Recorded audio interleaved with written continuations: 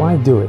Why leave the world you know and you're already comfortable in? Money, a new house, your name on a sign, a million dollars, ten million dollars.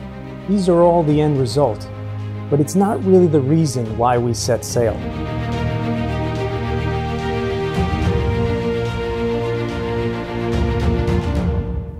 Starting your business is a journey. Every year, people start their businesses but lose their way. Every successful business person has one companion that has never left their side their motivator. Let me help you find yours.